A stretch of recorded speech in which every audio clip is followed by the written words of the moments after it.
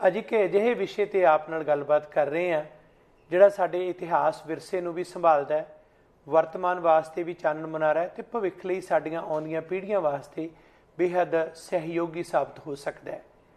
ਦਰਅਸਲ ਸਾਡੀਆਂ ਦੁਰਲੱਭ ਵਸਤਾਂ, ਇਤਿਹਾਸਕ ਦਸਤਾਵੇਜ਼ ਅਤੇ ਮੈਡਲ, ਜਿਹੜੇ ਕਿ ਸਮੇਂ-ਸਮੇਂ ਦੌਰਾਨ ਸਾਨੂੰ ਹਾਸਲ ਹੋਏ ਜਾਂ ਜਿਹੜੀਆਂ ਵਸਤਾਂ ਇਹ ਇਤਿਹਾਸ ਨੂੰ ਬਿਆਨ ਕਰਦੀਆਂ ਕਿ ਕਦੇ ਸਾਡਾ ਆਪਣਾ ਖਾਲਸਾ ਰਾਜ ਹੁੰਦਾ ਸੀ ਕਦੇ ਸਿੱਖਾਂ ਦੇ ਜਿਹੜੇ ਉਹ ਖਾਲਸਾ ਰਾਜ, ਜਿਸ ਦੀ ਗੱਲ ਬਾਬਾ ਬੰਦਾ ਸਿੰਘ ਬਹਾਦਰ ਦੇ ਇਤਿਹਾਸ ਚੋਂ ਸ਼ੇਰੇ ਪੰਜਾਬ ਮਹਾਰਾਜਾ ਰਣਜੀਤ ਸਿੰਘ ਦੇ ਇਤਿਹਾਸ ਚੋਂ ਝਲਕਦੀ ਹੈ, ਉਹ ਸਾਡਾ ਮਾਣ ਸੀ। ਜਾਂ ਉਸ ਤੋਂ ਇਲਾਵਾ ਜੋ ਉਸ ਤੋਂ ਮਗਰੋਂ ਮਹਾਰਾਜਾ ਦਲੀਪ ਸਿੰਘ, ਅੱਗੇ ਉਹਨਾਂ ਦੀ ਵੰਸ਼ਜ ਸੋਫੀਆ ਦਲੀਪ ਸਿੰਘ, ਜਿਹੜੇ ਕਿ ਕਿਸੇ ਸਮੇਂ ਇੰਗਲੈਂਡ ਦੇ ਵਿੱਚ ਉੱਥੋਂ ਦੀਆਂ ਔਰਤਾਂ ਨੂੰ ਵੋਟ ਦਾ ਹੱਕ ਦਿਵਾਉਣ ਵਾਲੇ ਸਰਮੌਰ ਸਨ ਮੋਰੀ ਸਨ। ਪਰ ਉਹਨਾਂ ਦੀ ਗੱਲ ਕੌਣ ਕਰਦਾ ਹੈ? ਕਿੰਨੀ ਕੁ ਜਾਣਕਾਰੀ ਰੱਖਦੇ ਆ ਫਿਰ ਉਹ ਕਿਤਾਬਾਂ ਜਿਹੜੀਆਂ ਹਨ, ਕਿੱਡੀਆਂ ਦੁਰਲੱਭ ਨੇ, ਜਾਂ ਉਹ ਮੈਡਲ ਜਿਹੜੇ ਕਿ ਵਿਸ਼ਵ ਜੰਗਾਂ ਦੇ ਵਿੱਚ ਸਾਡੇ ਬਜ਼ੁਰਗ ਜਿਹੜੇ ਸਨ, ਜਿਨ੍ਹਾਂ ਨੇ ਜਿੱਤੇ, ਹਾਲਾਂਕਿ ਉਹ ਇੱਕ ਵੱਖਰਾ ਵਿਸ਼ਾ ਹੈ ਕਿ ਉਹ ਕਿੰਨਾ ਲਈ ਲੜੇ, ਪਰ ਇਹ ਇੱਕ ਵਿਚਾਰਨਯੋਗ ਗੱਲ ਹੈ ਕਿ ਉਹਨਾਂ ਦੀ ਅਹਿਮੀਅਤ ਕੀ ਹੈ। ਪਰ ਅਸੀਂ ਸਾਰਾ ਆਪਣਾ ਵਿਰਸਾ ਭੁਲਾ ਕੇ ਕਈ ਵਾਰ ਇੱਕ ਸ਼ਬਦ ਵਰਤਦੇ ਹਾਂ, ਸਾਊਥ ਏਸ਼ੀਅਨ, ਜਾਂ ਉਹ ਦੱਖਣੀ ਏਸ਼ੀਆਈ, ਉਹਦੇ ਵਿੱਚ ਸਾਰਾ ਕੁਝ ਗਲਤਾਨ ਕਰ ਦਿੰਨੇ ਆ ਜਿਹਦੇ ਕਾਰਨ ਸਾਨੂੰ ਆਪਣੀ ਵਿਲੱਖਣਤਾ ਦੇ ਬਾਰੇ ਗਿਆਨ ਜਿਹੜਾ ਹਾਸਲ ਨਹੀਂ ਹੁੰਦਾ। ਪਰ ਵਣਜਾਰਾ ਨੋਮੈਡ ਨਾਂ ਦੀ ਸੰਸਥਾ ਜਿਸ ਨੇ ਬੜਾ ਵੱਡਾ ਉਪਰਾਲਾ ਕੀਤਾ, ਇਹ ਪ੍ਰੀਜ਼ਰਵ ਕੀਤਾ ਲਰਨ ਕਰਨਾ ਤੇ ਸ਼ੇਅਰ ਕਰਨਾ। ਇਹ ਮੈਡਲ ਜਿਹੜੇ ਤੁਸੀਂ ਦੇਖ ਰਹੇ ਹੋ, ਇਹ ਉਸ ਦਾ ਪ੍ਰਤੀਕ ਨੇ ਜਿਨ੍ਹਾਂ ਨੇ ਸੰਭਾਲੇ ਨੇ ਤੇ ਵੱਖ-ਵੱਖ ਸਮਿਆਂ ਦੇ ਇਹ ਉਹ ਮੈਡਲ ਨੇ ਜਿਹੜੇ ਸਾਡੇ ਇਤਿਹਾਸ ਤੇ ਵਰਤਮਾਨ ਦਾ ਪ੍ਰਤੀਕ ਨੇ।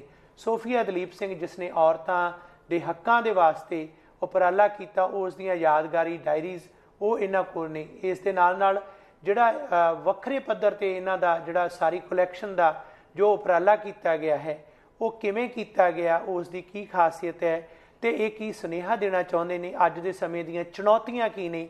ਅੱਜ ਨਵੇਂ ਵਿਦਿਆਰਥੀ ਕੈਨੇਡਾ ਚ ਆ ਰਹੇ ਨੇ। ਦੱਖਣੀ ਏਸ਼ੀਆਈ ਸ਼ਬਦ ਜਦੋਂ ਅਸੀਂ ਵਰਤਦੇ ਹਾਂ, ਕਿਸ ਤਰ੍ਹਾਂ ਗੁੰਮਰਾਹ ਹੁੰਨੇ ਆ ਸੋਫੀਆ ਦਲੀਪ ਸਿੰਘ ਵਰਗੇ ਜਿਹੜੇ ਕਿ ਮਹਾਰਾਜਾ ਦਲੀਪ ਸਿੰਘ ਦੀ ਅਗਲੀ ਵੰਸ਼ਜ ਦੇ ਵਿੱਚੋਂ, ਉਹਨਾਂ ਨੇ ਕੀ ਕੁਝ ਕੀਤਾ? ਉਹ ਸਾਰੀਆਂ ਗੱਲਾਂ ਜਿਹੜੀਆਂ ਸਾਨੂੰ ਵਿਚਾਰਨ ਦੇ ਵਾਸਤੇ ਜ਼ਰੂਰ ਸਮਾਂ ਕੱਢਣਾ ਚਾਹੀਦਾ ਸੋ ਮੇਰੇ ਨਾਲ ਇਹ ਸੰਸਥਾ ਦੇ ਸੰਸਥਾਪਕ ਨੌਜਵਾਨ ਵੀਰ ਰਾਜ ਸਿੰਘ ਪੰਡਾਲ ਅੱਜ ਇਸ ਪ੍ਰੋਗਰਾਮ 'ਚ ਵਿਸ਼ੇਸ਼ ਤੌਰ ਤੇ ਸ਼ਾਮਲ ਨੇ ਜਿਨ੍ਹਾਂ ਨਾਲ ਗੱਲਬਾਤ ਕਰਾਂਗੇ। ਜੀ ਆਇਆਂ ਨੂੰ ਰਾਜ ਸਿੰਘ ਸਵਾਗਤ ਹੈ ਤੁਹਾਡਾ ਜੀ। ਬਹੁਤ ਬਹੁਤ ਧੰਨਵਾਦ ਜੀ ਤੇ ਆਪਣਾ ਸਾਰੇ ਦਰਸ਼ਕਾਂ ਦਾ ਸਰੋਤਿਆਂ ਦਾ ਉਹਨਾਂ ਨੇ ਵੀ ਆਪਣਾ ਸਮਾਂ ਕੱਢ ਰਹੇ ਨੇ ਉਹਨਾਂ ਦਾ ਵੀ ਧੰਨਵਾਦ ਹੈ। ਬਹੁਤ ਸ਼ੁਕਰੀਆ। ਪਹਿਲਾਂ ਤਾਂ ਇਸ ਗੱਲ ਦੀ ਵਧਾਈ ਦੇਣੀ ਬਣਦੀ ਹੈ ਕਿ ਤੁਸੀਂ ਐਸੀਆਂ ਸੈਂਕੜੇ ਹੀ ਵਸਤਾਂ ਮੈਡਲ ਜਾਂ ਜਿਹੜੇ ਸਾਡੇ ਖਜ਼ਾਨੇ ਨੇ ਉਸ ਨੂੰ ਸਾਂਭਿਆ, ਚਾ ਦੇ ਨਾਲ, ਉਤਸ਼ਾਹ ਦੇ ਨਾਲ, ਤੇ ਵਣਜਾਰਾ ਨੋਬੈਡ ਦੇ ਨਾਂ ਤੇ ਇਹ ਸੰਸਥਾ ਕਾਇਮ ਕੀਤੀ, ਇੱਕ ਚੰਗੀ ਗੱਲ ਹੈ। ਪਰ ਤੁਸੀਂ ਵਣਜਾਰਾ ਸ਼ਬਦ ਜਿਹੜਾ ਹੈ, ਇਹ ਚੁਣਿਆ ਤੇ ਇਸ ਕੈਨੇਡਾ ਦੀ ਧਰਤੀ ਦੇ ਉੱਪਰ ਇਸ ਨੂੰ ਲੈ ਕੇ ਤੁਸੀਂ ਉਪਰਾਲਾ ਕਰ ਰਹੇ ਹੋ। ਮੈਂ ਇੱਥੇ ਸ਼ੁਰੂ ਕਰਾਂਗਾ ਕਿ ਇਹ ਤੁਹਾਡਾ ਮਨ 'ਚ ਖਿਆਲ ਕਿਵੇਂ ਆਇਆ? ਤੁਸੀਂ ਇਹ ਉਪਰਾਲਾ ਕਿਉਂ ਕੀਤਾ ਕਿਵੇਂ ਕੀਤਾ ਇਹਦੇ ਤੇ ਰੋਸ਼ਨੀ ਪਾਓ। ਜੀ ਜੀ ਜਿਹੜੇ ਵੰਜਾਰੇ ਆ ਉਹਦੇ ਦੋ ਪਹਿਲੂ ਨੇ ਜੀ। ਇੱਕ ਤਾਂ ਆਪਾਂ ਜਿਹੜੇ ਸੂਬੇ 'ਚ ਰਹਿੰਦੇ ਆ ਉਹ supernatural British Columbia so ਸਾਨੂੰ ਆਫ ਰੋਡਿੰਗ ਦਾ ਬਹੁਤ ਸ਼ੌਕ ਆ ਫੋਟੋਗ੍ਰਾਫੀ ਦਾ ਬਹੁਤ ਸ਼ੌਕ ਆ। ਇੱਕ ਤਾਂ ਉਹ ਪਹਿਲੂ ਹੋ ਗਿਆ।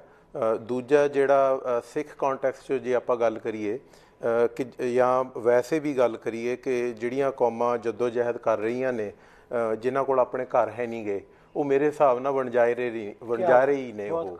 ਬੇਸ਼ੱਕ ਉਹ ਦੁਨੀਆ ਦੇ ਕਿਸੇ ਵੀ ਕੋਨੇ 'ਚ ਰਹਿਣ। ਹਰੇਕ ਧਰਤੀ ਸੁਹਾਵਣੀ ਹੈ ਉਹ ਸਾਡੀ ਮਾਂ ਆ। ਪਰ ਜਿਹੜੇ ਖੇਤੇ 'ਚੋਂ ਅਸੀਂ ਆਏ ਆ ਉਹ ਉਹਦੇ ਨਾਲ ਜਿਹੜਾ ਸਾਡਾ ਨਾੜੂ ਆ ਉਹਨੂੰ ਮੈਂ ਐਮਬਿਲਿਕਲ ਕੋਡ ਕਹਿੰਦਾ ਹੁੰਦਾ ਜਿਹੜੀ ਅਟੈਚ ਆ ਉਹਨੂੰ ਸਰਜੀਤ ਰੱਖਣ ਲਈ ਇਹ ਇਹ ਛੋਟੀ ਜੀ ਇੱਕ ਬੜੀ ਹੰਬਲ ਕਲੈਕਸ਼ਨ ਹੈ ਤੇ ਇਹ ਸਾਡੇ ਵੱਲੋਂ ਕੋਸ਼ਿਸ਼ ਕੀਤੀ ਗਈ ਹੈ ਇਹ। ਤੇ ਇਹਦੇ ਵਿੱਚ ਅਸੀਂ ਇਹ ਸਾਡਾ ਜਿਹੜਾ ਮਾਟੋ ਰੱਖ ਲਓ ਉਹ ਹੈਗਾ ਪ੍ਰੀਜ਼ਰਵ ਲਰਨ ਤੇ ਸ਼ੇਅਰ ਅਸੀਂ ਕਿਸੇ ਨੂੰ ਟੀਚ ਨਹੀਂ ਕਰ ਰਹੇ। ਅਸੀਂ ਸਿਰਫ ਜੋ ਸਾਡੇ ਤੋਂ ਆਪਣੀ ਕਮਾਈ ਨਾਲ ਜੋ ਚਾਰ ਚੀਜ਼ਾਂ ਇਕੱਠੀਆਂ ਹੁੰਦੀਆਂ ਨੇ ਫਿਰ ਉਹਦੇ ਚੋਂ ਆਪਣੀ ਕੈਪੇਬਿਲਿਟੀ ਕੈਪੈਸਿਟੀ ਦੇ ਹਿਸਾਬ ਨਾਲ ਅਸੀਂ ਲਰਨ ਕਰਦੇ ਆ ਤੇ ਫਿਰ ਅਸੀਂ ਉਹ ਵੈਬਸਾਈਟ ਫੇਸਬੁੱਕ ਤੇ ਇੰਸਟਾਗ੍ਰam ਤੇ ਪਾ ਲੈਂਦੇ ਆ ਕਿ ਜਿਹੜੇ ਹੋਰ ਸਾਡੇ ਵੀਰ ਭੈਣਾ ਉਹ ਇਸ ਸੋਚਦੇ ਨੇ ਜਾਂ ਸਮਝਦੇ ਨੇ ਉਹਨਾਂ ਨੂੰ ਵੀ ਇਹ ਉਤਸ਼ਾਹ ਮਿਲੇ ਕਿ ਉਹਨਾਂ ਨੇ ਵੀ ਚਾਰ ਚੀਜ਼ਾਂ ਸਾਹਮਣੀਆਂ ਨੇ ਆਪਣਾ ਪਿਛੋਕੜ ਸਾਹਮਣਾ ਹੈ। ਬਹੁਤ ਪਿਆਰੀ ਗੱਲ ਜਿਹੜੀ ਕਿ ਵਿਚਾਰਨਯੋਗ ਹੈ ਕਿ ਵਣਜਾਰਾ ਅਸਲ ਚ ਗੁਰਬਾਣੀ ਦੇ ਵਿੱਚ ਬਹੁਤ ਵਾਰੀ ਸ਼ਬਦ ਆਇਆ, ਬਿਲਕੁਲ ਵਣਜਾਰਾ ਸਾਡੇ ਸੱਭਿਆਚਾਰ ਦਾ ਵੀ ਪ੍ਰਤੀਕ ਆ। ਵਣਜਾਰੇ ਆਉਂਦੇ, ਪਿੰਡਾਂ 'ਚ ਲੰਘਦੇ ਕੋਈ ਸਮਾਨ ਲੈ ਕੇ ਆਉਂਦੇ। ਅਸੀਂ ਵਣਜਾਰੇ ਸ਼ਬਦ ਨੂੰ ਜਿਹੜਾ ਜੀਵਨ ਦੇ ਵਿੱਚ, ਜਿਹੜੇ ਚੱਲਦੇ ਵਹੀਰ ਦੇ ਤੌਰ ਤੇ ਦੇਖਦੇ ਆਂ ਗੁਰਬਾਣੀ 'ਚ ਤਾਂ ਵਣਜਾਰਾ ਸ਼ਬਦ ਇਨਸਾਨ ਦੇ ਜਾਮੇ ਵਾਸਤੇ ਵੀ ਹੈ। ਮੈਂ ਵਣਜਾਰਨ ਰਾਮ ਕੀ, ਉਹਦਾ ਵਣਜ ਕਰਨਾ, ਵਪਾਰ ਕੀ ਕਰਨਾ, ਇਹ ਵੀ ਇੱਕ ਵਣਜਾਰੇ ਦਾ ਜਿਹੜਾ ਵਣਜ ਕਰਦਾ ਕਿਸ ਤਰ੍ਹਾਂ ਦਾ ਵਣਜ ਕਰਦਾ ਤੇ ਵਣਜਾਰੇ ਇਹ ਵੀ ਹੈ, ਜਿਹੜੇ ਕਿ ਆਪਣੇ ਜਿਨ੍ਹਾਂ ਦੇ ਘਰ ਘਾਟ ਦੀ ਥਾਂ ਤੇ ਚੱਲਦੇ ਫਿਰਦੇ ਹੀ ਜਿਹੜੇ ਵਹੀਰਾਂ ਕਰਦੇ ਨੇ। ਸੋ ਇਹ ਗੱਲ ਬੜੀ ਦਿਲ ਨੂੰ ਛੂਹਣ ਵਾਲੀ ਹੈ ਕਿ ਉਹ ਵਣਜਾਰਾ ਜਿਹੜਾ ਕਿ ਆਪਣੇ ਘਰ ਦੀ ਤਲਾਸ਼ 'ਚ ਹੈ। ਜਿਹੜਾ ਕਿ ਆਪਣੇ ਟਿਕਾਣੇ ਦੀ ਤਲਾਸ਼ 'ਚ ਹੈ, ਚੱਲਦਾ ਫਿਰਦਾ, ਕੀ ਕੁਝ ਕਰਦਾ ਤੇ ਉਹ ਕੀ ਸਾਂਝਾ ਪਾ ਰਿਹਾ ਕੀ ਇਕੱਠਾ ਕਰ ਰਿਹਾ ਹੈ, ਕਿਹੜਾ ਵਣਜ ਅਸੀਂ ਲੈ ਰਹੇ ਹਾਂ। ਇਹ ਵਣਜ ਵੀ ਬੜਾ ਕਮਾਲ ਦਾ ਹੈ ਕਿ ਆਪਣੇ ਇਤਿਹਾਸ ਨੂੰ, ਆਪਣੇ ਵਿਰਸੇ ਨੂੰ, ਆਪਣੀਆਂ ਉਹਨਾਂ ਦਸਤਾਨ ਵੇਜ਼ਾਂ ਨੂੰ ਜਾਂ ਉਹ ਵਸਤਾਂ ਨੂੰ, ਧਰੋਹਰ ਖਜ਼ਾਨੇ ਨੂੰ ਸੰਭਾਲਣਾ। ਸੋ ਨੋਮੈਡ ਅੰਗਰੇਜ਼ੀ ਦੇ ਵਿੱਚ ਸ਼ਬਦ ਹੈ, ਬਿਲਕੁਲ ਬੜੇ ਸੋਹਣੇ ਢੰਗ ਦੇ ਨਾਲ ਜਿਵੇਂ ਇਹ ਲਫ਼ਜ਼ਾਂ ਨੂੰ ਜਿਹੜਾ ਸਾਂਭਿਆ ਇਹਨਾਂ ਨੇ ਇਸ ਦੇ ਨਾਂ ਤੇ ਸੰਸਥਾ ਕਾਇਮ ਕੀਤੀ ਹੈ, ਵਣਜਾਰਾ ਨੋਮੈਡ ਸੋ ਇਹ ਸੰਸਥਾ ਦੇ ਰਾਹੀਂ ਜੋ ਇਹ ਕਰ ਰਹੇ ਨੇ, ਇਹ ਇੱਕ ਸ਼ਾਨਦਾਰ ਉਪਰਾਲਾ ਹੈ ਤੇ ਅਸੀਂ ਇਹ ਵੀ ਸੋਚਦੇ ਹਾਂ ਕਿ ਸਾਡੇ ਵਾਸਤੇ ਜਿਹੜਾ ਰੁਝੇਵਿਆਂ ਭਰੀ ਜ਼ਿੰਦਗੀ, ਜਿਹੜੀ ਕੈਨੇਡਾ ਦੇ ਵਿੱਚ ਇਹੋ ਜੀ ਜ਼ਿੰਦਗੀ ਹੈ, ਉੱਥੇ ਆ ਕੇ ਇਹ ਗੱਲ ਦਾ ਫਿਕਰ ਕਰਨਾ ਕਿ ਅਸੀਂ ਇਹ ਸਾਰਾ ਕੁਝ ਸਾਹਮਣਾ ਤੇ ਇਹ ਵੀ ਯਾਦ ਰੱਖਣਾ ਕਿ ਅਸੀਂ ਬਣ ਜਾ ਰਹੇ ਹਾਂ ਜੇ। ਸਾਡਾ ਆਪਣਾ ਟਿਕਾਣਾ ਕੋਈ ਨਹੀਂ, ਸੱਚ ਹੈ, ਯਕੀਨਨ ਤੌਰ ਤੇ ਕਦੇ ਗਦਰੀ ਬਾਬਿਆਂ ਨੇ ਵੀ ਇਹ ਗੱਲ ਕਹੀ ਸੀ, ਬੇਸ਼ੱਕ ਉਸ ਵੇਲੇ ਬ੍ਰਿਟਿਸ਼ ਐਮਪਾਇਰ ਸੀ ਅੱਜ ਫਾਸ਼ੀਵਾਦੀ ਇੰਡੀਅਨ ਸਟੇਟ ਦਾ ਜਿਹੜਾ ਮੌਜੂਦਾ ਚਿਹਰਾ ਮੋਹਰਾ ਹੈ, ਉਸ ਵੇਲੇ ਉਹਨਾਂ ਨੇ ਕਿਹਾ ਸੀ ਕਿ ਬਾਹਰ ਪੈਣ ਧੱਕੇ ਘਰੇ ਮਿਲੇ ਢੋਈ ਨਾ, ਸਾਡਾ ਪਰਦੇਸੀਆਂ ਦਾ ਦੇਸ਼ ਕੋਈ ਨਾ। ਇਹ ਕਦੇ ਉਹਨਾਂ ਗਦਰੀ ਬਾਬਿਆਂ ਦੀਆਂ ਕਵਤਾਵਾਂ ਪੜ੍ਹੀਏ, ਉਹਨਾਂ 'ਚ ਲਿਖਿਆ ਮਿਲਦਾ ਤੇ ਵਣਜਾਰਿਆਂ ਵਾਲੀ ਗੱਲ ਹੀ ਹੈ। ਸੋ ਬੜੀ ਪਿਆਰੀ ਤੁਸੀਂ ਗੱਲ ਕੀਤੀ ਹੈ ਤੇ ਇਸ ਗੱਲ ਦੇ ਉੱਪਰ ਹੀ ਮੈਂ ਥੋੜਾ ਜਿਹਾ ਪਿੱਛੇ ਜਾਣਾ ਚਾਹਾਂਗਾ ਕਿ ਤੁਹਾਡੀ ਕਲੈਕਸ਼ਨ ਦੇ ਬਾਰੇ ਕੱਲੀ-ਕੱਲੀ ਗੱਲ ਕਰਾਂਗੇ। ਪਰ ਉੱਥੋਂ ਮੈਨੂੰ ਇੱਕ ਸੋਫੀਆ ਦਲੀਪ ਸਿੰਘ ਦੀ ਜਿਹੜੀ ਲਿਖਤ ਹੈ, ਉਹਦੀ ਸੰਭਾਲ ਦੀ ਗੱਲ ਜਿਹੜੀ ਬੜੀ ਆਕਰਸ਼ਿਤ ਕਰਦੀ ਹੈ, ਖਿੱਚਦੀ ਹੈ। ਜਦੋਂ ਅਸੀਂ ਇਹ ਗੱਲ ਕਰਦੇ ਹਾਂ, ਅੱਜ ਘਰ ਘਾਟ ਦੇ ਲਈ, ਆਪਣੇ ਦੇਸ਼ ਕੌਮ ਦੇ ਲਈ, ਆਪਣੇ ਟਿਕਾਣੇ ਦੇ ਲਈ ਸਿੱਖ ਜੂਝ ਵੀ ਰਹੇ ਨੇ, ਸੰਘਰਸ਼ ਵੀ ਕਰ ਰਹੇ ਨੇ। ਹਾਲਾਂਕਿ ਕਿਸੇ ਸਮੇਂ ਬੰਦਾ ਸਿੰਘ ਬਹਾਦਰ ਦਾ ਜਿਹੜਾ ਖਾਲਸਾ ਰਾਜ ਕਾਇਮ ਸੀ, ਜੋ ਉਸ ਵੇਲੇ ਹਲਵਾਕਾਂ ਨੂੰ ਉਹਨਾਂ ਦੀ ਜ਼ਮੀਨ ਦੇ ਕੇ ਮਲਕੀਅਤ ਬਖਸ਼ਦਾ ਸੀ ਸ਼ੇਰੇ ਪੰਜਾਬ ਮਹਾਰਾਜਾ ਰਣਜੀਤ ਸਿੰਘ ਦਾ ਰਾਜ ਕਾਇਮ ਸੀ, ਜਿਹੜਾ ਕਿ ਖਾਲਸਾ ਰਾਜ, ਸਰਕਾਰੀ ਖਾਲਸਾ, ਉਸ ਵੇਲੇ ਦੁਨੀਆ ਦੇ ਬਿਹਤਰੀਨ ਰਾਜ ਪ੍ਰਸ਼ਾਸਨ ਪ੍ਰਬੰਧਾਂ ਚੋਂ ਇੱਕ ਸੀ। ਪਰ ਉਹਨਾਂ ਦੇ ਪੁੱਤਰ ਮਹਾਰਾਜਾ ਦਲੀਪ ਸਿੰਘ ਨੂੰ ਜਿਸ ਤਰ੍ਹਾਂ ਈਸਾਈ ਬਣਾਇਆ ਗਿਆ, ਜਿਸ ਤਰ੍ਹਾਂ ਉਸ ਵੇਲੇ ਦੀ ਜਿਹੜੀ ਹਕੂਮਤ ਨੇ, ਜਿਹੜਾ ਅਤ ਦਾ ਜੁਰਮ ਕੀਤਾ, ਉਹ ਇੱਕ ਆਪਣਾ, ਉਹਦਾ ਵੱਖਰਾ ਇੱਕ ਦੁਖਾਂਤ ਹੈ। ਪਰ ਅੱਗੇ ਉਹਨਾਂ ਦੀ ਜਿਹੜੀ ਧੀ ਸੀ, ਸੋਫੀਆ ਦਲੀਪ ਸਿੰਘ, ਉਹਨੇ ਬੜਾ ਕੁਝ ਕੰਮ ਕੀਤਾ। ਤੁਸੀਂ ਉਹਨਾਂ ਦੀ ਡਾਇਰੀ, ਉਹਨਾਂ ਦੀ ਲਿਖਤ, ਉਸ ਨੂੰ ਸੰਭਾਲਿਆ ਮੈਂ ਚਾਹਾਂਗਾ ਉਹਨਾਂ ਦੇ ਜੀਵਨ ਬਾਰੇ ਉਹਨਾਂ ਦੇ ਸੰਘਰਸ਼ ਬਾਰੇ ਤੇ ਤੁਹਾਡੇ ਮਨ 'ਚ ਉਹਨਾਂ ਨੂੰ ਸੰਭਾਲਣ ਦਾ ਜਿਵੇਂ ਖਿਆਲ ਆਇਆ ਉਹਦੇ ਬਾਰੇ ਜ਼ਰੂਰ ਵਿਚਾਰ ਦਿਓ। ਜੀ ਜੀ। ਉਹ ਜਿਹੜੇ ਆਪਣੇ ਸ਼ੇਰੇ ਪੰਜਾਬ ਮਹਾਰਾਜਾ ਰਣਜੀਤ ਸਿੰਘ ਉਹਨਾਂ ਦੀ ਕੁੱਲ ਵਿੱਚ ਉਹਨੇ। ਤੇ ਜਦੋਂ ਉਹਨਾਂ ਨੂੰ ਜ਼ਬਰੀ ਤੌਰ ਤੇ ਇੰਗਲੈਂਡ ਲਿਜਾਇਆ ਗਿਆ ਤੇ ਉੱਥੇ ਦੇਖੋ ਉਹ ਜਿਹੜਾ ਬਾਗੀਪੁਣਾ ਕਹਿ ਲੋ ਜਾਂ ਨੀਵੇਂ ਦੇ ਲਈ ਖੜਾ ਹੋਣੇ ਉਹ ਉਹ ਕਹਿ ਲੋ ਤੁਸੀਂ ਕਣ ਵਿੱਚ ਉਹਨਾਂ ਨੇ ਕੱਲੀ ਆਪਣੀਆਂ ਨਹੀਂ ਹਰੇਕ ਤਰ੍ਹਾਂ ਦੀ ਔਰਤ ਲਈ ਜਿਹੜਾ ਵੋਟ ਦਾ ਹੱਕ ਸੀਗਾ, ਉਹਦੇ ਵਿੱਚ ਉਹਨਾਂ ਦੀ ਕਾਫੀ ਅਹਿਮੀਅਤ ਸੀਗੀ, ਜੋ ਉਹਨਾਂ ਦਾ ਕੰਮ ਸੀਗਾ ਉਹਦੇ ਵਿੱਚ। ਸੋ ਉਹਦੇ ਨਾਲ ਹੀ ਉਹ ਚੰਗੇ ਫੋਟੋਗ੍ਰਾਫਰ ਸੀਗੇ, ਡੌਗ ਲਵਰ ਸੀਗੇ, ਹਾਰਸ ਰਾਈਡਰ ਸੀਗੇ। ਪਰ ਇੱਕ ਜਿਹੜੀ ਖੂਬਸੂਰਤ ਹੋਰ ਗੱਲ ਸੀ ਕਿ ਜਦੋਂ 1919 ਚ ਇੱਕ ਸੈਲੀਬ੍ਰੇਸ਼ਨ ਹੋਈ ਸੀਗੀ ਉੱਥੇ ਆਪਣੇ ਹਿੰਦੁਸਤਾਨੀ ਫੌਜੀ ਕਾਫੀ ਗਏ ਸੀਗੇ ਉਹ ਚ ਮੁਸਲਮਾਨ ਭਰਾ ਵੀ ਸੀਗੇ ਸਿੱਖ ਵੀ ਸੀਗੇ ਹਿੰਦੂ ਵੀਰ ਵੀ ਸੀਗੇ। ਸੋ ਸੋਫੀਆ ਦਲੀਪ ਸਿੰਘ ਉਹਨਾਂ ਨੂੰ ਆਪਣੇ ਘਰ ਸਾਦੀ ਹੁੰਦੀ ਸੀਗੀ। ਤੇ ਉਹਨਾਂ ਲਈ ਜਿੱਦਾਂ ਆਪਣੇ ਹੁਣ ਬੱਚੇ ਹਾਈ ਟੀ ਪੀਂਦੇ ਨੇ ਨਾ ਉਹਨਾਂ ਲਈ ਹਾਈ ਟੀ ਦਾ ਇੰਤਜ਼ਾਮ ਹੁੰਦਾ ਸੀਗਾ। ਤੇ ਉੱਥੇ ਜਿਹੜੇ ਜਿਹੜੇ ਸੂਬੇਦਾਰ ਰਸਾਲਦਾਰ ਆਉਂਦੇ ਹੁੰਦੇ ਸੀ ਉਹਨਾਂ ਦੀ ਇੱਕ ਤਰਤੀਬ ਨਾਲ ਉਹ ਆਪਣੇ ਜਿਹੜੇ ਰਾਇਲ ਜਿਹੜਾ ਉਹਨਾਂ ਦਾ ਹੁੰਦਾ ਸੀ ਪੋਸਟ ਨੋਟ ਉਹਦੇ ਉੱਪਰ ਲਿਖਦੀ ਹੁੰਦੀ ਸੀ ਵੀ ਕਿਹੜਾ ਰਸਾਲਦਾਰ ਕਿਹੜੇ ਦਿਨ ਉਹਦਾ ਰੈਂਕ ਕੀ ਸੀ ਪਿੰਡ ਕੀ ਸੀ ਜ਼ਿਲ੍ਹਾ ਕੀ ਸੀ।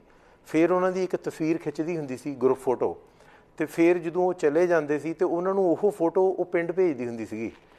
ਸੋ ਪਿੰਡ ਤੋਂ ਫਿਰ ਉਹਨਾਂ ਦੀ ਚਿੱਠੀ ਧੰਨਵਾਦ ਦੇ ਤੌਰ ਤੇ ਕਿ ਇਹ ਮਹਾਰਾਜਾ ਰਣਜੀਤ ਸਿੰਘ ਦੀ ਵੰਸ਼ ਜੋ ਹੈ ਤੇ ਉਹ ਉਹ ਬਕਾਇਦਾ ਧੰਨਵਾਦ ਹੁੰਦਾ ਸੀਗਾ।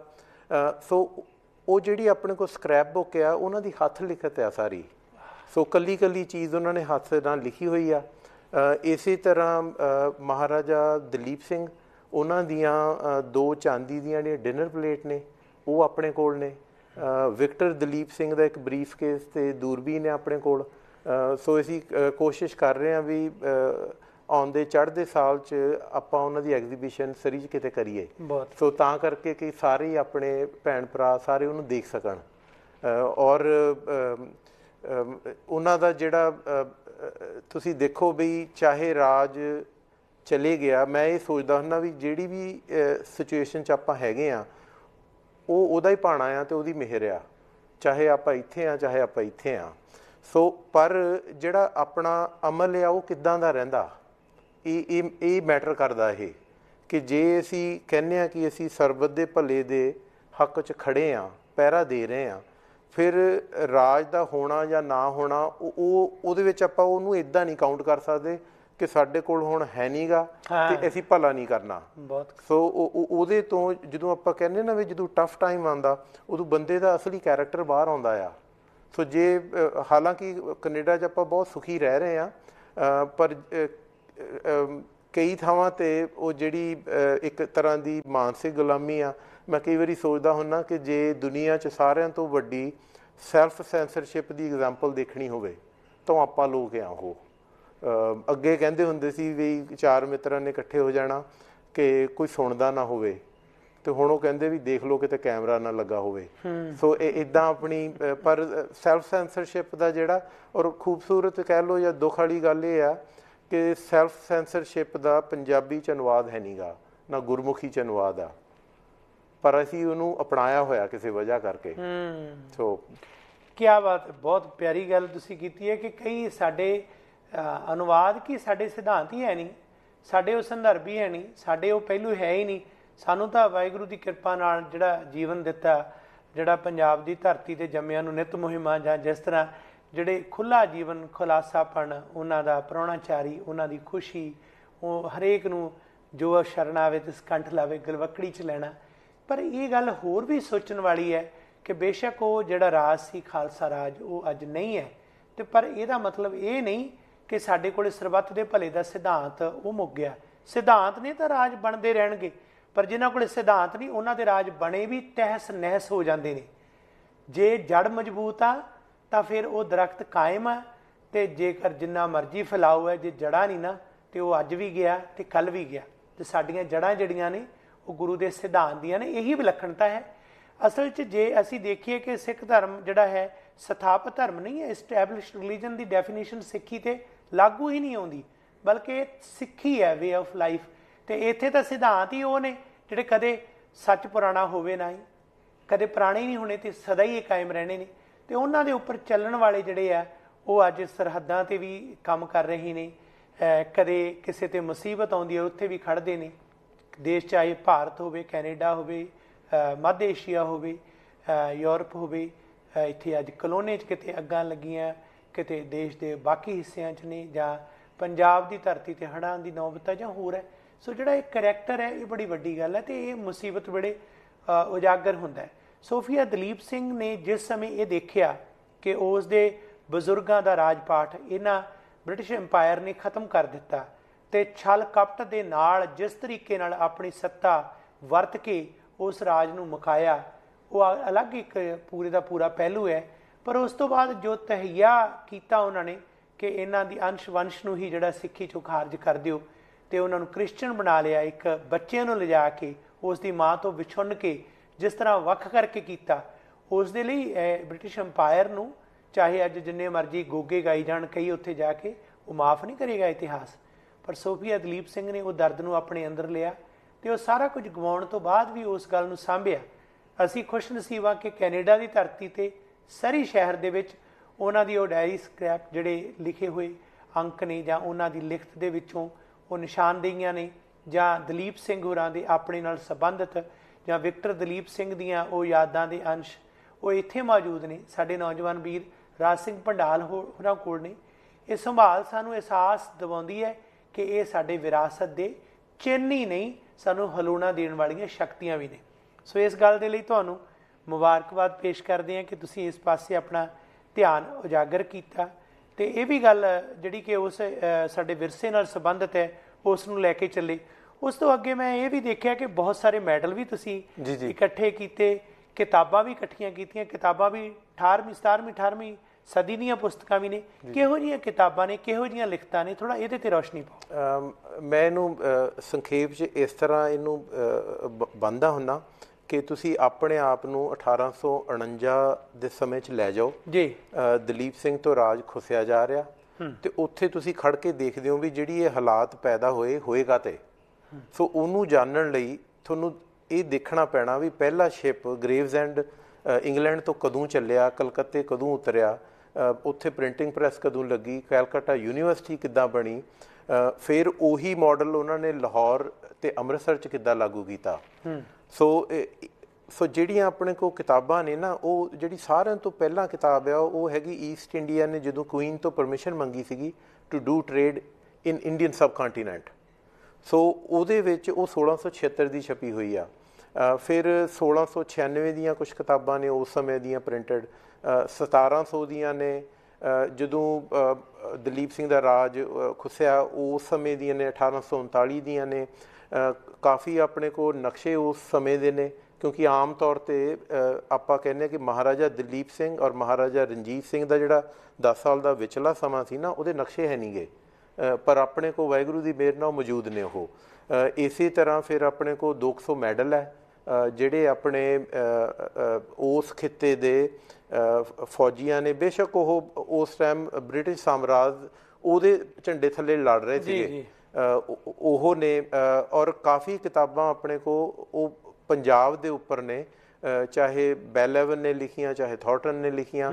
ਇਦਾਂ ਵੱਖਰੇ ਵੱਖਰੇ ਜਿਨ੍ਹਾਂ ਨੂੰ ਆਪਣੇ ਇੰਟੈਲੈਕਚੁਅਲ ਕੋਟ ਕਰਕੇ ਔਰ ਉਹਨੂੰ ਅਲਟੀਮੇਟ ਟਰੂਥ ਮੰਨ ਕੇ ਅਗਲੀਆਂ ਕਿਤਾਬਾਂ ਛਾਪ ਰਹੇ ਨੇ ਜਿਨ੍ਹਾਂ ਕਰਕੇ ਆਪਣੀ ਬਹਿਸ ਹੋ ਰਹੀ ਆ।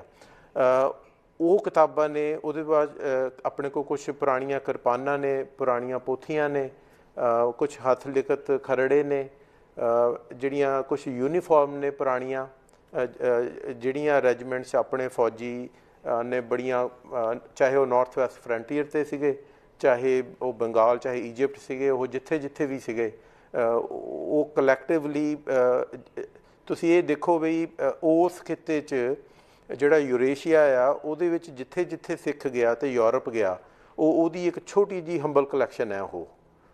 ਸੋ ਮੈਂ ਇਹਨੂੰ ਇਸ ਨਿਗਾਹ ਨਾਲ ਦੇਖਦਾ। ਕਾਫੀ ਆਪਣੇ ਕੋਲ ਲਿਥੋਗ੍ਰਾਫ ਨੇ ਸਬਰਾਉਂ ਦੀ ਜੰਗ ਦੀਆਂ ਪੁਰਾਣੀਆਂ ਤਸਵੀਰਾਂ ਨੇ ਆਲੀਵਾਲ ਦੀਆਂ ਨੇ ਫਿਰੋਸ਼ਾ ਦੀਆਂ ਨੇ। ਸੋ ਇਦਾਂ ਉਹਨਾਂ ਨੂੰ ਨਾ ਵੱਖਰੇ ਵੱਖਰੇ ਸਮੇਂ ਦੇ ਹਿਸਾਬ ਨਾਲ ਆਪਾਂ ਉਹਨਾਂ ਨੂੰ ਰੱਖਿਆ ਹੋਇਆ ਤਰਤੀਬ ਨਾਲ। ਸੋ ਕਿਸੇ ਦਿਨ ਵਾਹਿਗੁਰੂ ਦੀ ਜਦੋਂ ਵੀ ਮਿਹਰ ਹੋਈ ਮੇਰੇ ਖਿਆਲ ਆਪਾਂ ਚਾਹੁੰਦੇ ਆ ਕਿ ਸਰੀ ਦੇ ਵਿੱਚ ਇੱਕ ਛੋਟਾ ਜਿਹਾ ਮਿਊਜ਼ੀਅਮ ਬਣੇ ਜਿੱਥੇ ਕਿ ਸਾਰੇ ਜਾਣੇ ਆ ਕੇ ਉਹਨਾਂ ਨੂੰ ਦੇਖ ਸਕਣ।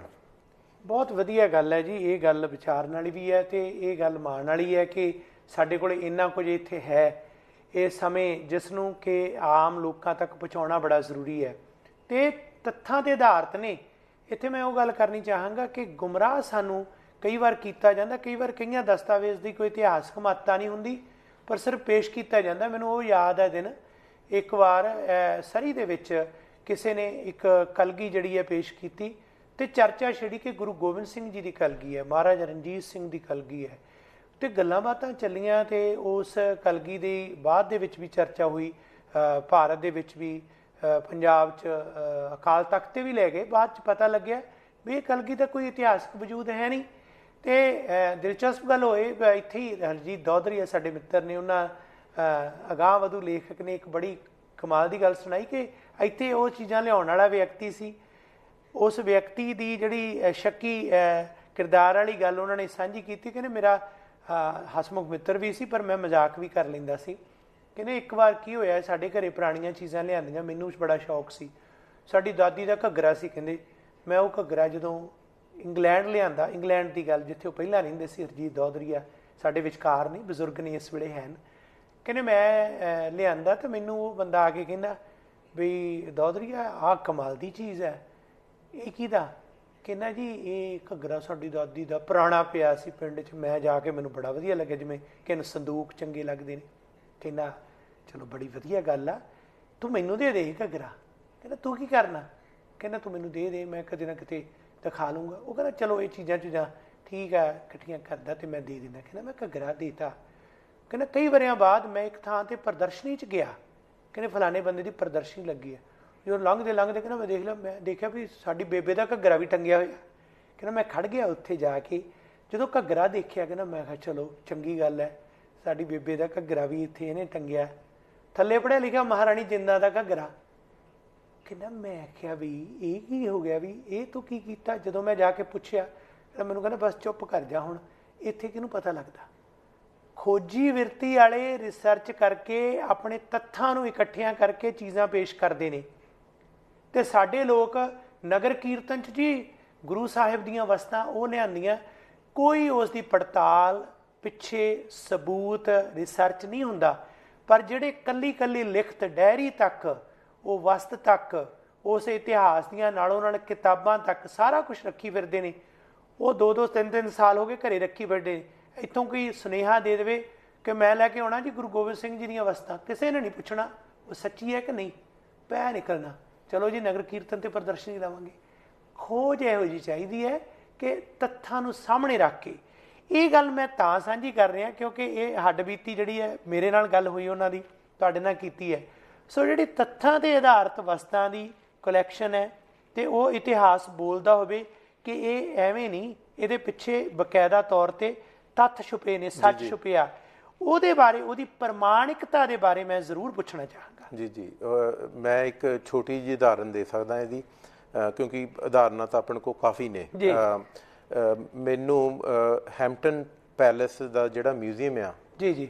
ਜਦੋਂ ਉਹਨਾਂ ਨੂੰ ਪਤਾ ਲੱਗਾ ਕਿ ਸੋਫੀਆ ਦਲੀਪ ਸਿੰਘ ਦੀ ਜਿਹੜੀ ਸਕ੍ਰੈਪ ਬੁੱਕ ਆ ਉਹ ਆਪਣੇ ਕੋਲ ਆ ਤੇ ਉਹਨਾਂ ਦੇ ਜਿਹੜੇ ਮੇਨ ਕਿਊਰੇਟਰ ਸੀ ਉਹਨਾਂ ਦੇ ਆਪਾਂ ਨੂੰ ਈਮੇਲ ਆਈ। ਅੱਛਾ। ਉਹ ਕਹਿੰਦੇ ਜੀ ਵੀ ਜਿਹੜੀ ਆਕਸ਼ਨ ਚੋਂ ਤੁਸੀਂ ਇਹ ਖਰੀਦੀ ਆ ਅਸੀਂ ਵੀ ਉੱਥੇ ਸੀਗੇ। ਪਰ ਕਿਸੇ ਵਜ੍ਹਾ ਕਰਕੇ ਜਿਹੜਾ ਸਾਡਾ ਬਜਟ ਸੀਗਾ ਉਹ ਇੰਨਾ ਸੀਗਾ ਤੇ ਤੁਸੀਂ ਉਹਦੇ ਤੋਂ ਉੱਪਰ ਚਲੇ ਗਏ। ਤੇ ਉਹਦੇ ਕਰਕੇ ਵੀ ਸਾਡੀ ਬੇਨਤੀ ਹੈ ਵੀ ਸਾਨੂੰ ਸੈਪਟੈਂਬਰ ਤੋਂ ਲੈ ਕੇ ਮਾਰਚ ਤੱਕ ਉਹਨਾਂ ਨੇ ਐਗਜ਼ੀਬਿਸ਼ਨ ਲਾਣੀ ਆ। ਤੇ ਉਹਦੇ ਵਿੱਚ ਜੇ ਹੋ ਸਕੇ ਤਾਂ ਇਹ ਸਾਨੂੰ ਵਾਪਸ ਭੇਜ ਦਿਓ। ਤੇ ਫਿਰ ਵਾਪਸ ਲਈ ਤਾਂ ਖੈਰ ਮੈਂ ਉਹਨਾਂ ਨੂੰ ਨਾ ਕਰ ਦਿੱਤੀ। ਉਹ ਕਹਿੰਦੇ ਫਿਰ ਇਦਾਂ ਕਰੋ ਵੀ ਅਸੀਂ, ਕਿਉਂਕਿ ਇਹ ਹੁਣ ਤੁਹਾਡੇ ਕੋਲ ਆ, ਸੋ ਸਾਨੂੰ ਤੁਹਾਡੀ ਪਰਮਿਸ਼ਨ ਚਾਹੀਦੀ ਐਜ਼ ਅ ਕਾਪੀਰਾਈਟ।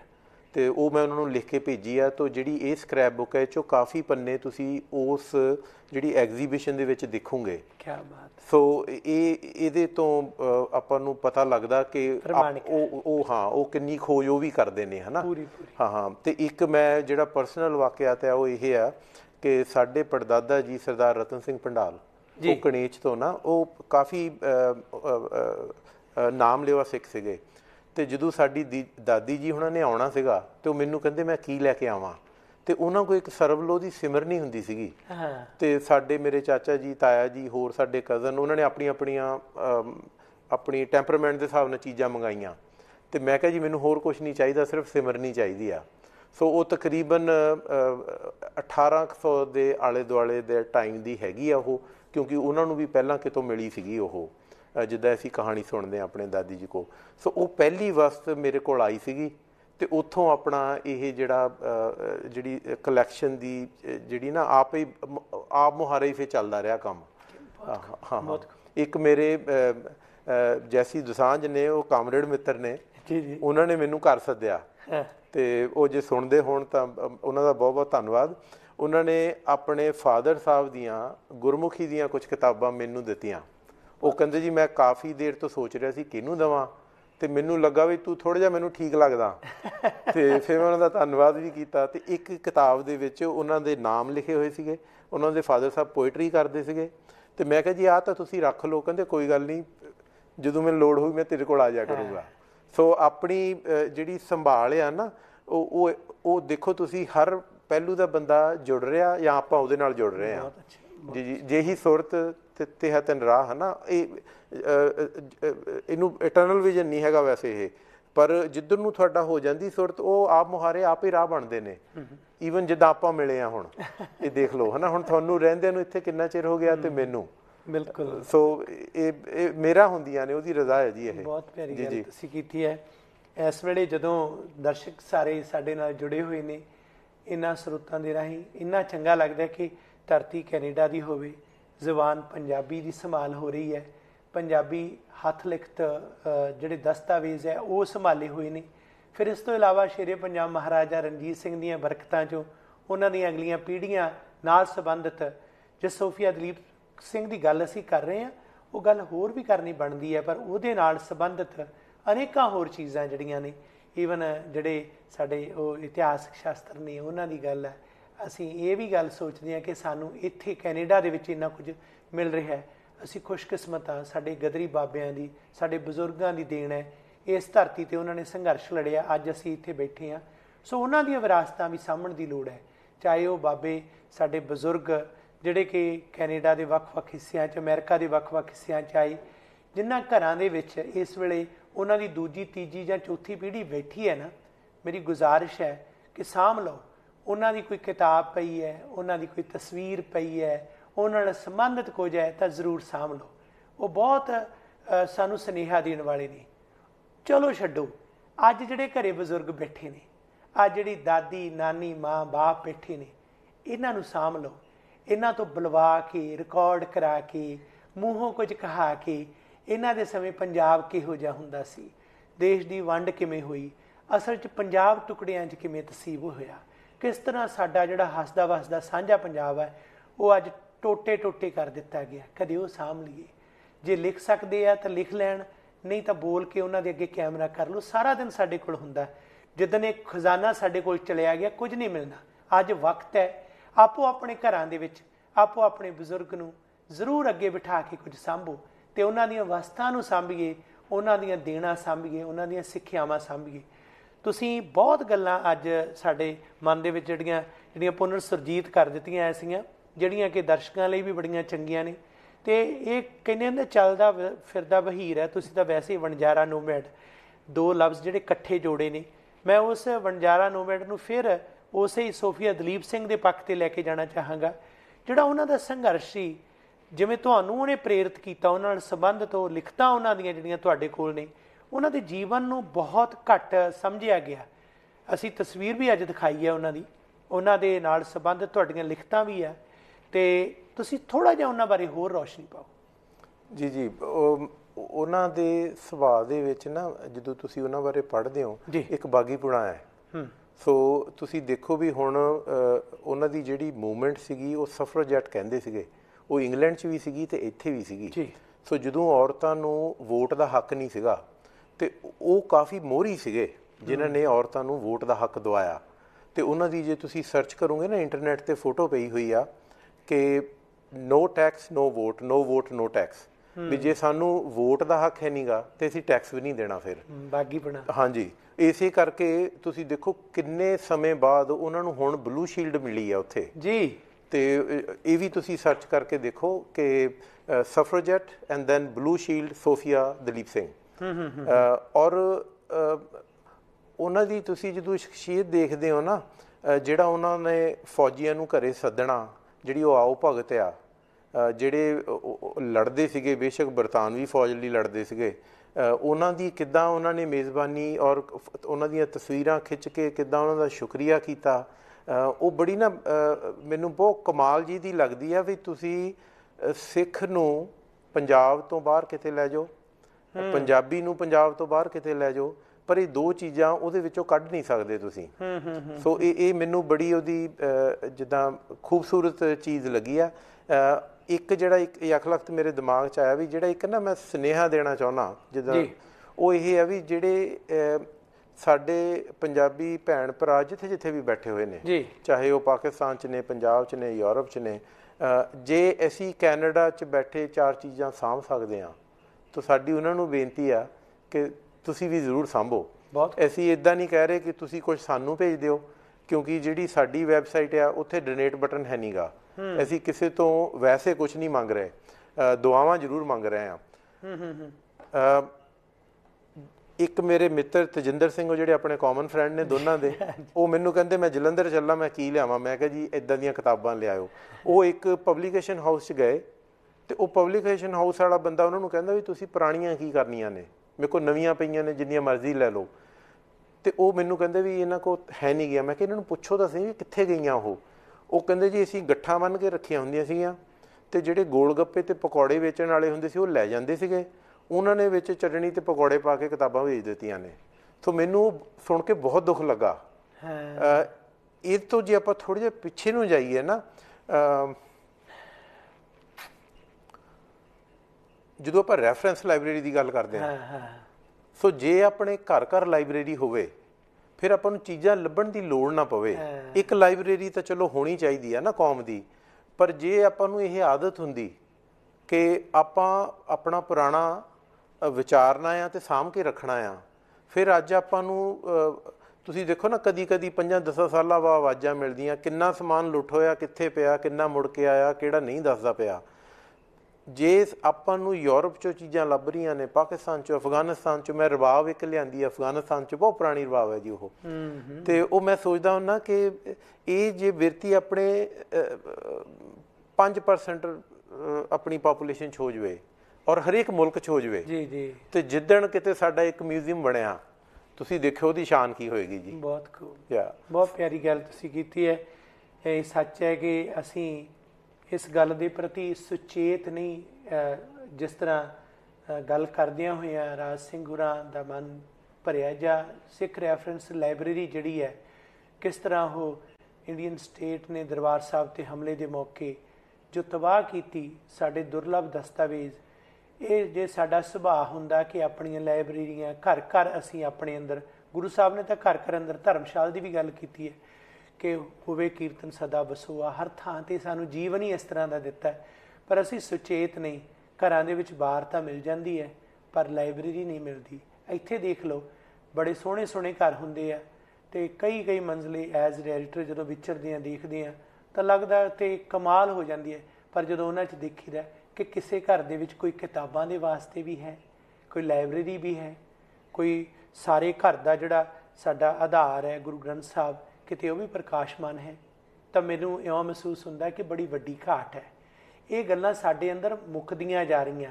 ਹਰ ਥਾਂ ਤੇ ਸਾਂਭੀਏ। ਮੈਨੂੰ ਗੁਰਦੇਵ ਸਿੰਘ ਮਾਨ ਇੱਕ ਬੜੇ ਮ- ਮਸ਼ਹੂਰ ਸ਼ਾਇਰ ਹੋਏ ਨੇ। ਸ਼੍ਰੋਮਣੀ ਪੰਜਾਬੀ ਸਾਹਿਤਕਾਰ, ਉਹਨਾਂ ਦਾ ਦਿਨ ਵੀ ਪਿੱਛੇ ਜੇ ਮਨਾਇਆ ਤੇ ਉਸ ਵੇਲੇ ਮੈਂ ਵਿਚਾਰ ਵੀ ਦਿੱਤੇ ਸੀ ਕਿ ਉਹਨਾਂ ਨੇ ਅਕਾਲ ਤਖਤ ਦੀ ਵਾਰ ਲਿਖੀ ਹੈ। ਜਦੋਂ ਅਕਾਲ ਤਖਤ ਢਹਿ ਢੇਰੀ ਕੀਤਾ ਗਿਆ ਸਿੱਖ ਰੈਫਰੈਂਸ ਲਾਇਬ੍ਰੇਰੀ ਤਬਾਹ ਕੀਤੀ ਗਈ। ਪੜ੍ਹਨ ਯੋਗ ਕਿਤਾਬ ਹੈ, ਬੜੀ ਕਮਾਲ ਦੀ। ਉਹਨਾਂ ਨੇ ਆਪਣੇ ਜੀਵਨ ਦੇ ਬਾਰੇ ਇੱਕ ਕਿਤਾਬ ਲਿਖੀ, ਜਿਹੜੀ ਕਿ ਪੰਜਾਬੀ ਯੂਨੀਵਰਸਿਟੀ ਪਟਿਆਲਾ ਨੇ ਮੇਰੀ ਸਵੈ ਜੀਵਨੀ ਦੇ ਅਧੀਨ ਛਾਪੀ ਹੈ। ਉਸ ਦੇ ਵਿੱਚ ਗੁਰਦੇਵ ਸਿੰਘ ਮਾਨ ਕਹਿੰਦੇ ਕਿ ਮੈਂ ਜਦੋਂ ਤੋਂ ਸੁਰ ਸਾਂਭੀ ਤਾਂ ਮੈਨੂੰ ਇਹ ਸੋਝੀ ਹੋਈ ਕਿ ਮੈਨੂੰ ਸਾਰਾ ਕੁਝ ਜਿਹੜਾ ਮਿਲਣਾ ਹੈ, ਗੁਰੂ ਗ੍ਰੰਥ ਸਾਹਿਬ ਤੋਂ ਮਿਲਣਾ ਹੈ। ਤਾਂ ਅਸੀਂ ਘਰੇ ਗੁਰੂ ਗ੍ਰੰਥ ਸਾਹਿਬ ਦਾ ਪ੍ਰਕਾਸ਼ ਕੀਤਾ। ਅਸੀਂ ਇੱਥੇ ਆ ਕੇ ਵੀ ਗੁਰੂ ਗ੍ਰੰਥ ਸਾਹਿਬ ਦੀਆਂ ਸੈਂਚੀਆਂ ਰੱਖੀਆਂ। ਤੇ ਕਿਸੇ ਨੇ ਮੈਨੂੰ ਪੁੱਛਣਾ ਕਿ ਤੁਹਾਡੇ ਘਰ ਦੇ ਵਿੱਚ ਗੁਰੂ ਗ੍ਰੰਥ ਸਾਹਿਬ ਵੀ ਹੈ? ਤਾਂ ਅਸੀਂ ਕਹਿਣਾ, ਨਹੀਂ, ਅਸੀਂ ਉਹਦੇ ਘਰ ਦੇ ਵਿੱਚ ਆ। ਕਹਿੰਦੇ, ਮਤਲਬ ਉਹ ਤੁਹਾਡੇ ਕੋਲ ਨਹੀਂ ਕਹਿੰਦੇ, ਨਹੀਂ, ਅਸੀਂ ਉਹਨਾਂ ਕੋਲ ਰਹਿੰਦੇ ਆ ਸਾਨੂੰ ਉਹਨਾਂ ਨੇ ਕਿਹਾ ਕਿ ਮੈਂ ਇੱਥੇ ਟਿਕਾਣਾ ਕਰਾਂਗਾ ਬਾਕੀ ਸਾਰਾ ਘਰ ਤੁਹਾਨੂੰ ਦਿੱਤਾ ਤੇ ਤੁਸੀਂ ਇਹਦੇ 'ਚ ਵਿਚਰੋ ਕਿੰਨੇ ਕਾ ਅਸੀਂ ਜੇ ਇਹ ਜੀ ਸੋਚ ਹੈ? ਸਾਨੂੰ ਤਾਂ ਇੱਥੋਂ ਤੱਕ ਸਾਡੀ ਸੋਚ ਤਾਂ ਗੁਲਾਮ ਹੋ ਚੁੱਕੀ ਹੈ ਕਿ ਅਸੀਂ ਆਪਣੇ ਆਪ ਨੂੰ ਜਿਹੜਾ ਕਦੇ ਇਹ ਨਹੀਂ ਮਹਿਸੂਸ ਕੀਤਾ ਕਿ ਸਾਡੇ ਬਜ਼ੁਰਗ ਜਿਹੜੇ ਨੇ, ਉਹਨਾਂ ਬਾਰੇ ਕੋਈ ਪੁੱਛੇ।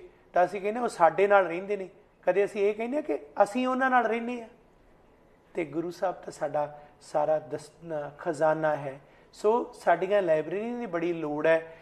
ਕਹਿੰਦੇ ਆ ਕਿ ਜਦੋਂ ਦੁੱਖ ਦੀ ਰਗ ਤੇ ਹੱਥ ਧਰੀਏ ਤਾਂ ਮਹਿਸੂਸ ਹੁੰਦਾ ਹੈ। ਜਿੰਨੇ ਵੀ ਦਰਸ਼ਕ ਨੇ, ਬਹੁਤ ਸਾਰੇ ਲੋਕ ਵਣਜਾਰਾ ਨੋਮੈਂਟ ਦੇ ਇਹ ਮੰਚ ਤੇ ਜਿੱਥੇ ਤੁਸੀਂ ਸੈਂਕੜੇ ਵਸਤਾਂ ਦਸਤਾਵੇਜ਼ ਇਕੱਠੇ ਕੀਤੇ ਨੇ, ਉਹਨਾਂ ਦੀ ਗੱਲ ਕੀਤੀ ਹੈ। ਕਿਤੇ 18ਵੀਂ ਸਦੀ ਦੀ, ਕਿਤੇ 19ਵੀਂ ਸਦੀ ਦੀ, ਮੈਨੂੰ ਲੱਗਦਾ ਹੈ ਕਿ ਇਹ ਗੱਲ ਦੂਜਿਆਂ ਨੂੰ ਵੀ ਪ੍ਰੇਰਿਤ ਕਰੇਗੀ। ਸੋ ਜਿਹੜੀਆਂ ਇਹ ਚੀਜ਼ਾਂ ਇਹਨਾਂ ਦੀ ਕੁੱਲ ਗਿਣਤੀ ਕਿੰਨੀ ਕੁ ਹੈ? ਤੇ ਜੇਕਰ ਉਹਨਾਂ ਨੂੰ ਦੇਖਣ ਵਾਸਤੇ ਕਿਸੇ ਨੇ ਜਾਣਾ ਹੋਵੇ, ਤਾਂ ਟਿਕਾਣਾ ਵੀ ਜ਼ਰੂਰ ਦੱਸੋ।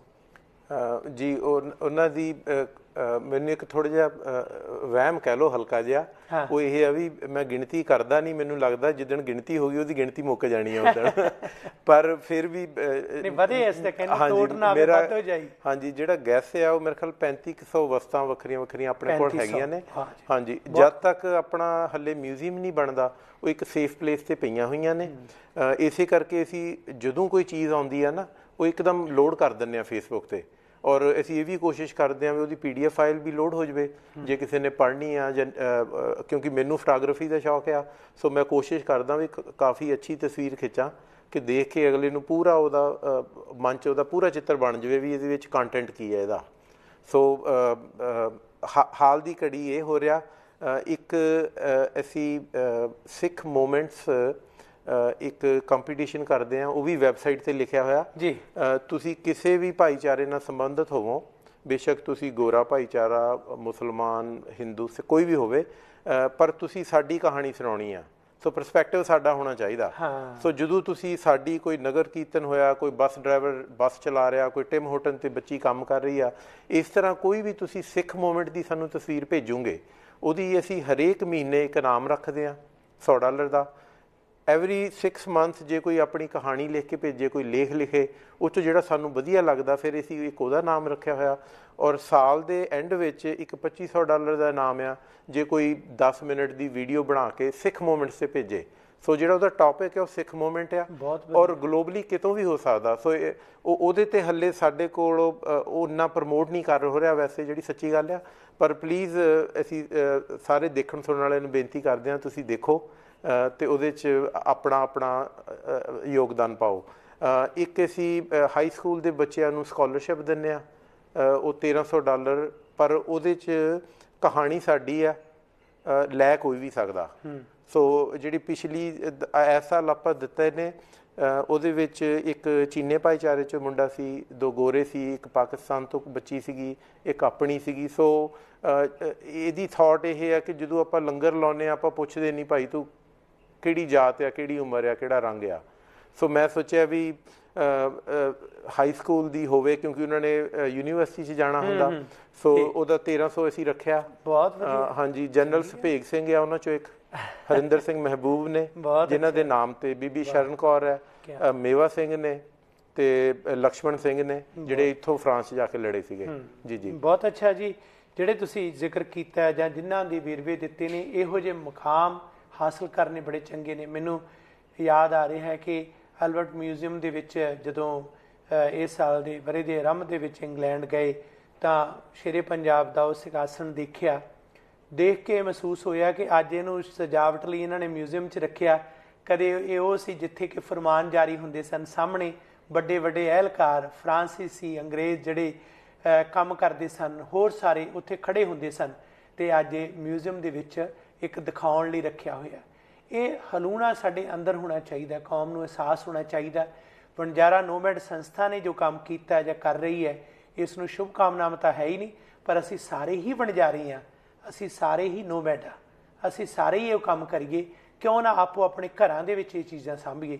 ਸੋ ਇੱਕ ਵਾਰ ਫੇਰ ਰਾਜ ਸਿੰਘ ਪੰਡਾਲ ਜੀ ਤੁਹਾਨੂੰ ਤੁਹਾਡੀ ਸੰਸਥਾ ਤੁਹਾਡੇ ਨਾਲ ਦੇ ਸਹਿਯੋਗੀਆਂ ਨੂੰ ਬਹੁਤ ਬਹੁਤ ਸ਼ੁਭਕਾਮਨਾਵਾਂ ਜੀ ਜੀ। ਬਹੁਤ ਬਹੁਤ ਜੀ ਬਹੁਤ ਸ਼ੁਕਰੀਆ ਜੀ ਸਮਾਂ ਦੇਣ ਲਈ। ਧੰਨਵਾਦ ਜੀ। ਜੀ ਜੀ।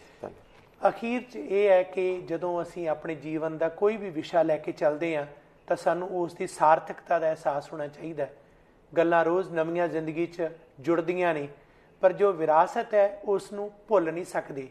ਕਿਹਾ ਜਾਂਦਾ ਹੈ ਕਿ ਬੀਤੇ ਤੇ ਪਿਸਤੌਲ ਨਾਲ ਗੋਲੀ ਚਲਾਓਗੇ ਭਵਿੱਖ ਤੁਹਾਨੂੰ ਤੋਪ ਨਾਲ ਫੁੰਡੇਗਾ। ਰਸੂਲ ਹਮਜ਼ਾ ਤੋਂ ਮੇਰਾ ਦਾਗਿਸਤਾਨ 'ਚ ਲਿਖਦਾ ਹੈ। ਤੇ ਜਿਨ੍ਹਾਂ ਦੀਆਂ ਲਾਇਬ੍ਰੇਰੀਆਂ ਤਬਾਹ ਹੋਈਆਂ ਉਹ ਕੌਮਾਂ ਕਿਵੇਂ ਬਰਬਾਦ ਹੋਈਆਂ ਇਹਨਾਂ ਬਾਰੇ ਅਨੇਕਾਂ ਜਿਹੜੇ ਵੱਡੇ ਵੱਡੇ ਵਿਦਵਾਨ, ਚਿੰਤਕ ਬੜਾ ਕੁਝ ਲਿਖ ਚੁੱਕੇ ਨੇ। ਅਸੀਂ ਇੱਕੋ ਹੀ ਸੁਨੇਹਾ ਦੇਣਾ ਚਾਹੁੰਦੇ ਹਾਂ, ਉਹ ਇਹ ਹੈ ਕਿ ਆਓ ਆਪਾਂ ਸਾਰੇ ਇਹ ਸਫ਼ਰ ਸ਼ੁਰੂ ਕਰੀਏ। ਬਜ਼ਾਤੇ ਖੁਦ ਮੈਂ ਇਹ ਕਹਿ ਸਕਦਾ ਕਿ ਆਪਣੇ ਘਰ ਐਬਸਫੋਰਡ ਜਿੱਥੇ ਟਿਕਾਓ ਹੈ 2-2500 ਕਿਤਾਬਾਂ ਵੀ ਨੇ। ਉਸ ਤੋਂ ਇਲਾਵਾ ਅਨੇਕਾਂ ਹੀ ਉਹ ਹੱਥ ਲਿਖ ਦਸਤਾਵੇਜ਼ ਨੇ, ਜਿਹੜੇ ਕਿ ਸਾਡੇ ਮਾਨਯੋਗ ਪਿਤਾ ਜੀ, ਸਰਦਾਰ ਹਰਪਾਲ ਸਿੰਘ ਜੀ, ਉਹਨਾਂ ਤੇ ਉਹਨਾਂ ਦੇ ਨਾਲ ਨਾਲ ਹੋਰ ਸੂਝਵਾਨ ਵਿਅਕਤੀਆਂ ਨੇ ਸਮੇਂ-ਸਮੇਂ ਦਿੱਤੇ। ਹੁਣ ਇਹਨਾਂ ਨੂੰ ਅਗਲੀ ਜਨਰੇਸ਼ਨ ਤੱਕ ਪਹੁੰਚਾਉਣਾ ਮੇਰਾ ਫਰਜ਼ ਹੈ। ਬੜੇ ਮੇਰੇ ਦੋਸਤ ਨੇ ਜਿਹੜੇ ਕਈ ਵਾਰ ਇਹ ਕਹਿੰਦੇ ਨੇ ਕਿ ਸਾਡੇ ਬਜ਼ੁਰਗ ਦੀ ਆ ਲਿਖਤ ਸੀ, ਤੁਹਾਨੂੰ ਦਿੰਨੇ ਆ ਤੇ ਮੈਂ ਰੱਖਿਆ ਵੀ ਹੈ। ਗੁਰਚਰਨ ਰਾਮਪੁਰੀ ਸਾਹਿਬ ਦਾ ਅਜ਼ੀਜ਼ ਉਹਨਾਂ ਦੇ ਪਰਿਵਾਰ ਚੋਂ ਉਸਨੇ ਮੈਨੂੰ ਕੋਈ ਚੀਜ਼ਾਂ ਵੀ ਦਿੱਤੀਆਂ, ਅਨੇਕਾਂ ਹੋਰ ਨੇ। ਧੰਨਵਾਦ ਹੈ। ਪਰ ਆਪੋ ਆਪਣੇ ਬਜ਼ੁਰਗ ਨੂੰ ਆਪਣੇ ਘਰਾਂ ਦੇ ਵਿੱਚ ਟਿਕਾਣਾ ਜ਼ਰੂਰ ਦਿਓ। ਉਹਨਾਂ ਦੀ ਅਵਸਥਾ ਨੂੰ ਆਪਣੇ ਘਰਾਂ ਜ਼ਰੂਰ ਰੱਖੋ। ਤੁਸੀਂ ਨਹੀਂ ਤਾਂ ਤੁਹਾਡੀ ਅਗਲੀ ਪੀੜ੍ਹੀ ਜ਼ਰੂਰ ਪੜ ਲਏਗੀ। ਮਾਫ ਕਰਨਾ ਅਸੀਂ ਤਾਂ ਜਿਨ੍ਹਾਂ ਨੇ ਸਾਹਮਣੀਆਂ ਸਾਹਮਣੀਆਂ ਇਸ ਤੱਕ ਮੰਗ ਵੀ ਕਰਦੇ ਆ ਅੱਜ ਇਸ ਮੰਚ ਤੇ ਬੈਠ ਕੇ ਕਹਿੰਦੇ ਆ ਕਿ ਵਰਜਾਰਾ ਮੂਵਮੈਂਟ ਦੇ, ਰਾਜ ਸਿੰਘ ਪੰਡਾਲ ਬੈਠੇ ਨੇ, ਅਸੀਂ ਬੈਠੇ ਆ ਜਿਨ੍ਹਾਂ ਤੋਂ ਨਹੀਂ ਸਾਹਮੀਆਂ ਜਾਂਦੀਆਂ, ਹੱਥ ਜੋੜ ਕੇ ਬੇਨਤੀ ਲਿਆਓ। ਅਸੀਂ ਉਹਨਾਂ ਨੂੰ ਬੁੱਕਲ 'ਚ ਲੈ ਕੇ ਸਤਕਾਰ ਨਾਲ ਮੱਥਾ ਚੁੰਮ ਕੇ ਅਸੀਂ ਆਪਣੇ ਨਾਲ ਜੋੜਾਂਗੇ। ਪਰ ਜੇ ਹੋ ਸਕਦਾ ਤੁਸੀਂ ਵੀ ਸਾਂਭ ਲਓ, ਕਿਉਂਕਿ ਉਹ ਤੁਹਾਡੇ ਘਰਾਂ 'ਚ ਨਹੀਂ ਰਹੇ, ਤੁਸੀਂ ਉਹਨਾਂ ਦੇ ਘਰਾਂ 'ਚ ਹੋ। ਅਸੀਂ ਸਾਰੇ ਆਪਣੇ ਬਜ਼ੁਰਗਾਂ ਦੇ ਦੇਣਦਾਰ ਹਾਂ। ਤੇ ਇਹੀ ਕਹਿੰਦੇ ਨੇ ਕਿ ਜਿਨ੍ਹਾਂ ਨੇ ਆਪਣੇ ਇਤਿਹਾਸ ਨੂੰ ਸਾਂਭ ਲਿਆ, ਉਹ ਭਵਿੱਖ ਸਿਰਜ ਗਏ। ਸਾਡੀ ਅਗਲੀ ਪੀੜ੍ਹੀ ਤੇ ਮਾਣ ਮਹਿਸੂਸ ਅਸੀਂ ਕਰਾਂਗੇ।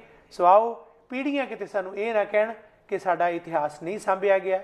ਵਰਤਮਾਨ ਦੇ ਵਿੱਚ ਸਾਡਾ ਫਰਜ਼ ਬਹੁਤ ਵੱਡਾ ਹੈ। ਸੋ ਆਪ ਸਮੂਹ ਦਰਸ਼ਕਾਂ ਦਾ ਚੈਨਲ ਪੰਜਾਬੀ ਤੇ ਗਲੋਬਲ ਪੰਜਾਬ ਦੇ ਮੰਚ ਤੇ ਇੱਕ ਵਾਰ ਫਿਰ ਤਹਿ ਦਿਲੋਂ ਸ਼ੁਕਰੀਆ।